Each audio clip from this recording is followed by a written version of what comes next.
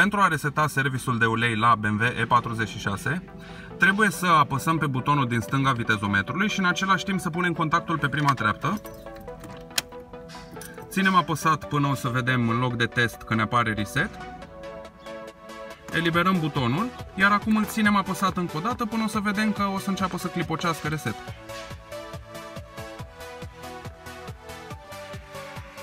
Eliberăm butonul și mai apăsăm o singură dată scurt. Da?